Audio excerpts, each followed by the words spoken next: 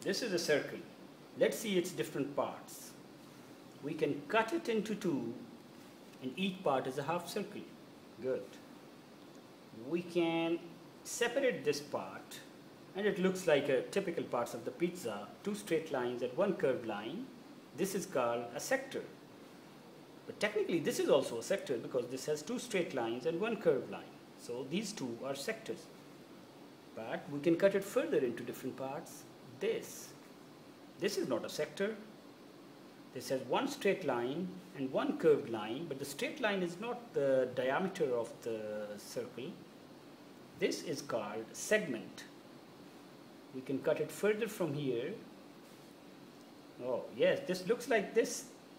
It's different in size, it's just smaller, but one side is straight line, another side is arc of the circle, the curved one. So this is also a segment. So we have a segment here, we have a segment here, we have a sector here, we have a sector here, and these are two semicircles combining into a circle. So these were different part of the circles. Thank you.